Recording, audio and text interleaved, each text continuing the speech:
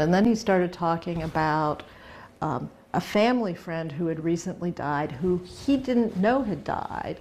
And then his mother and father came into the room and they said, Where are you? Where are you? And he said, I'm in heaven. Strange, unexplainable moments people have as they are close to death. What are they and are they even real? Well, in this evening's Buckley Report, Bob talks to a journalist who's looked into this phenomenon and a doctor who has studied it for more than 20 years to see what's behind deathbed visions, moments when people who are dying see things no one else can. It without so much as looking up. Where do you begin to tell the story of the end? She says because he's seen his deceased For mother. Dr. Chris I said, Kerr. I don't remember that class from medical school. It She starts says, with a TED Simon- Talk and a story from his youth. On August 6, 1974, I was 12 years old, and I was standing over the bed of my dying father. His father had a vision, which Kerr didn't think much of until he worked in hospice as a physician later in life and saw many more of them and realized they weren't medicinally induced hallucinations nor what's sometimes referred to as brain fog. Do you think you would have been as open to this concept if you hadn't experienced it with your father on his deathbed? Well, it's a good question. I, I think I was avoidant of the topic of dying um, uh, because of that. Not Phoebe Zerwick. Did this story resonate as much as any you've ever done? Oh my God. I mean, I've never, yes. She's a journalist who was intrigued when she heard about Dr. Kerr's research into deathbed visions and wrote about it Here's the magazine. for the New York Times Magazine. What did you think when you first heard his story? you know, I would say it resonated with me because I'd already had this experience with my mother who had multiple visions in the weeks and months leading up to her death. She called them her hallucinations. That's right. Is that what you sensed they were?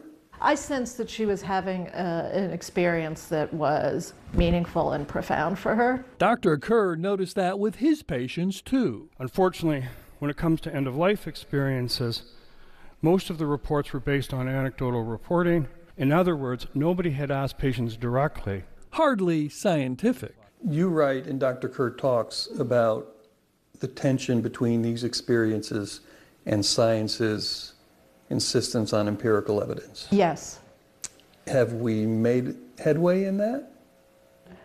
Uh, it's, yeah, that's an interesting question because I am, as a journalist and somebody who has tremendous respect for science, I'm on the side of evidence and facts.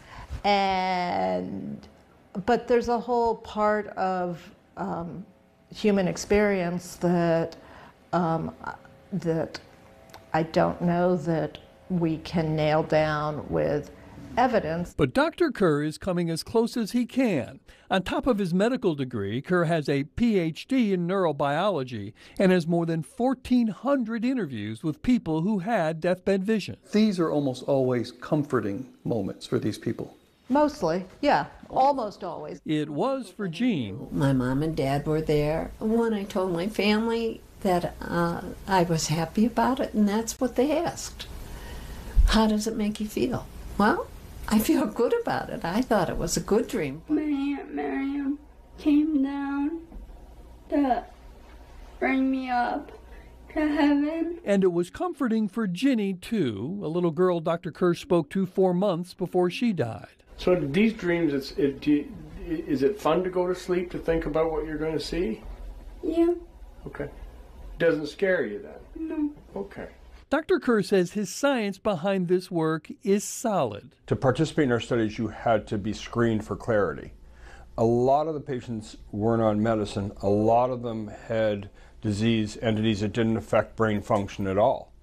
Um, they're completely unrelated. That doesn't mean he can explain what causes them, and for now, he's okay with that. I think you can get stuck there. And kind of where I end up is I just have reverence for it. I can't show you where love is, yet I know it exists. Um, this is somewhat uh, i i similar, and in the end, it the fact that we can't explain it doesn't invalidate its importance to the person experiencing it. Bob Buckley. The fact that we don't have answers doesn't um, doesn't diminish the reality. Fox 8 News. Dr. Kerr says his research reveals that nearly three out of four people say they have visions of family members. Almost 58% uh, say they, it's almost always ones who have already died. Many, almost 58%, have dreams about preparing for the afterlife. And a little more than a quarter of people say they have visions involving living people or other meaningful experiences.